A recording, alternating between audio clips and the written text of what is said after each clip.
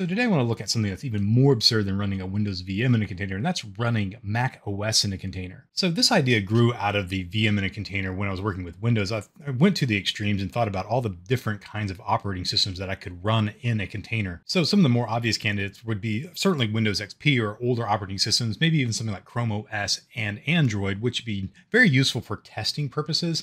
But the idea of running Mac OS did pop into my mind. Mac OS in a VM is not a new idea. There's a very vibrant community that really thrives on trying to make Mac OS run on anything other than a Mac. And it's called building a Hackintosh of some kind. And basically, you build some kind of PC that doesn't use Apple branded hardware.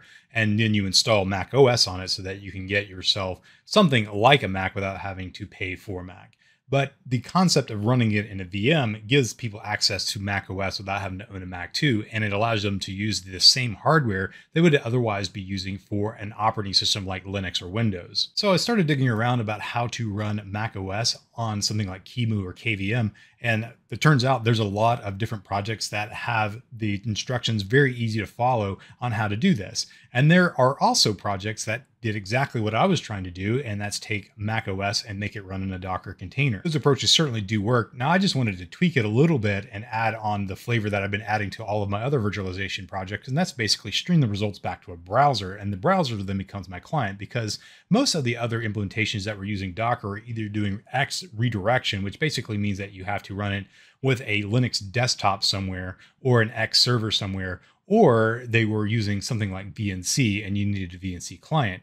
Well, the approach that I've been using for all these other implementations is basically just putting noVNC on a web page and then connecting that web page over WebSockify back into the container itself that is running some kind of VNC server. Well, it turns out KVM has native support for VNC. So basically, all I need to do is wire up noVNC to KVM and everything else just works. So that's exactly what I did. And so my implementation of this is a little bit lighter than some of the other ones. So I basically took one of those existing implementations that was running in KVM without a Docker context and just Dockerized it. And then from there, uh, added noVNC on top of it. So you could just log right into your uh, particular virtual machine right in the browser and then control everything with the browser as well. So I'm going to walk through the Docker file a little bit and then I'm going to walk through the setup and then I'll show you a booted working instance of Mac OS running inside of a container. So this is what the Docker file looks like for creating this. It's pretty straightforward. It's based on Ubuntu 22.04, and this is very similar to the one that I was using for Windows VMs. And this particular one, it has a bunch of dependencies that installs. The main thing that is different from this one and other ones is that this is using QEMU-KVM instead of QEMU system, because for this to work, you have to mount KVM into the container as a device. Otherwise, uh, it won't work because this won't work unless hardware system virtualization is available to the container. You can't run it in a fully emulated processor. At least I wasn't able to get it to work that way. And even if it did, I don't think it would perform very well at all. Uh, it's pretty slow even with KVM uh, present and it's using Python and, and this little utility DMG to uh, IMG, which basically converts the Apple image format into something that KVM can understand. Now, the rest of this is pretty straightforward. It's using Nginx as a reverse proxy. Uh, it's going to use noVNC as a VNC client, and then this is using supervisord to start up all the various components, uh, including Nginx and the actual implementation of QEMU. So this is the uh, supervisord file right here. And it's just using supervisord, and it has basically three things that it's running. It's running WebSockify for VNC, uh, it's running Nginx to reverse proxy, and then this is using um, the script to start uh, OS X or Mac OS. It's basically going to download it and start it. If it's already downloaded, it doesn't try to download it again.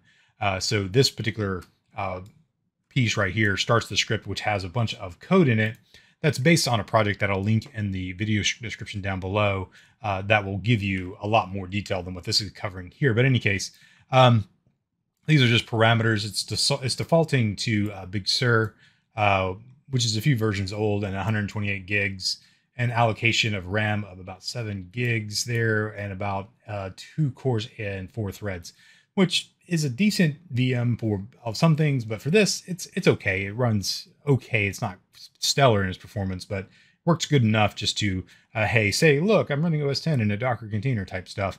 Um, this is the part that actually downloads macOS and then converts it to uh, the format that KVM can understand. And this is right. This actually creates your virtual hard disk there. And once those are created, um, everything else is ready to run. And um, this actually is what starts uh, QEMU and KVM in the background. So this is going to use uh, enable KVM right here. And then these are just all the parameters that get set uh, for this particular virtual machine. So it's using a USB emulated USB keyboard and tablet or mouse rather. Uh, this tells it the resources it needs, and this most of all this stuff down here is just the um, the network configuration and hardware configurations for it, and then it tells it you know, what drives you need. So OpenCore is used basically for the UEFI, and then this is for the installation media, and then this is for the install media here, and then this is for the actual boot drive, and so on. So all of that to say is it's basically uh, creating a virtual machine with all of these things set, and then with that, it will then start the virtual machine kind of in the background. So you don't have to have X present on the VM. You just have to have VNC, and C and then VNC then uh, will uh, take over and receive the output from the uh, the actual streams coming off of KVM.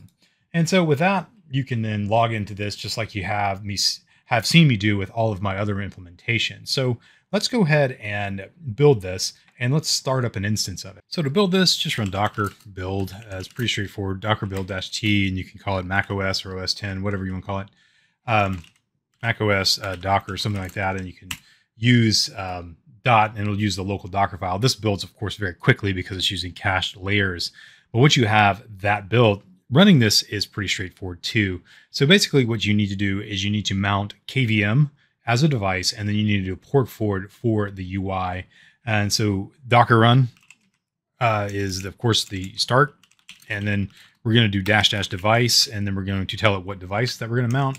So dash dev dash KVM for the device, and then we're going to say dash P for the port, uh, and then we're going to do 80, 81. I think I have another container running on port 8080. So I'm going to map that from port 8081 on the host to port 8080 in the container, and that's the port that uh, Nginx is running on.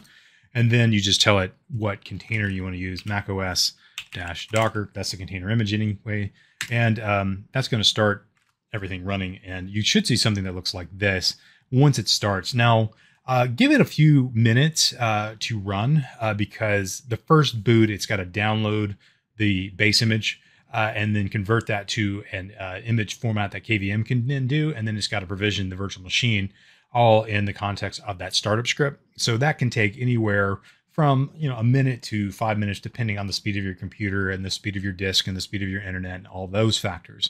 So give it a few minutes and then when you're ready you can come back and you should be able to log into it. So once you connect you should go to the the port of your uh, of your actual host that's running docker and then put in port whatever port you create. I use 8081 and go to vnc.html and this is currently booting uh, the operating system uh, for the installer. So uh, this should uh, start uh, with the installation process here in just a minute. So once you see the recovery here, uh, the first thing that you want to do to prep this is use disk utility, and disk utility is just part of the boot process. Um, now, depending on what version you're using, sometimes that's on a menu up here, uh, sometimes it's on that menu right there. In any case, you're going to have a uh, screen that looks something like this. Uh, let me see if I can get a little bigger so it's a little easier to see here. And um, you want to basically format the largest disk here. So not that one, but uh, this one right here. This is uh, 137 gigabytes is what it's reporting in any case. We want to erase this. So we're going to come over here and click erase. And that's that's going to not only partition this disk, but it's also going to uh, format it as well. It's, it's, currently unpartitioned in any case. So you can call it um, Blaize uh, VM, whatever you, you want to name it. And then uh, click on erase, and that will basically format and partition the disk, and uh, everything will be good to go there. It's not a fully allocated disk; it's using sparse allocation, so it's not 120, you know, eight gigs on your disk on your host disk until you fill that up with data. So uh, that's done. And now that we have that, we can uh, quit disk utility right here and uh, start the install process. So I'm going to click uh, install the install start the install process right here. And that's going to basically walk through installing this is using Ventura on it, so uh, one of the more later versions of it, and older versions would be a lighter, but you know Ventura will work. Uh, and uh, this will walk you through the installation process for it, and it's pretty straightforward for Mac OS. Uh, you basically just pick the disk, and we'll do that in just a second here. So I'm going to agree to the license. Uh, basically, scroll to the bottom, or just click agree, and it'll, it'll prompt you. Read the software license agreement? You click agree, and then you choose that di- disk you just created, and then you click continue, and then you just hurry up and wait. Now, it doesn't take, mine says it's going to take two hours and 14 minutes. It doesn't take that long on my machine. Your results may vary. It just depends on whatever you're dealing with, the kind of hardware you have, what kind of disk you have, and so on, about how fast it's going to uh, install and how quickly you can be up and running. But uh, let it finish and it'll reboot a bunch and it'll do a lot of different things. But ultimately, you'll get the uh, screen where you can walk through the wizard to configure it. And once you're done with that, you're up and running with Mac OS. So once you have everything set up, you should get the login screen and you can log into it. Now, um, for this particular uh, virtual machine, I, I, this is the second or third time I've logged into this. So I want to uh, just talk about you know the kind of the usefulness of this because truthfully, it's not something that I find to be you know stellar performance or extremely useful for much more than just basic stuff. So uh, there seems to be some glitches in it, and you know, for instance, if I if I launch Safari here and I go to let's say blaize.net, which is my website, it kind of halfway renders it. It doesn't render this. However, if I, if I launch you know Chrome, I install Chrome just to show you that there's something about you know this website. It look, should look like this, and if you put it in the background, uh, you actually see it rendered.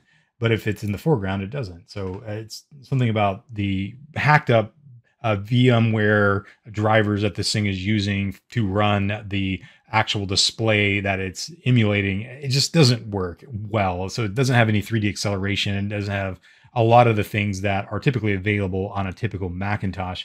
So certain apps are not going to work. Some of them probably wouldn't even work if you tried. So most apps though are probably going to be okay as long as they're not real intense. So anything that would be kind of a a productivity app like uh, maybe like calendar or calculator or maybe Microsoft Office or you know like dictionary, uh, those would all work probably okay.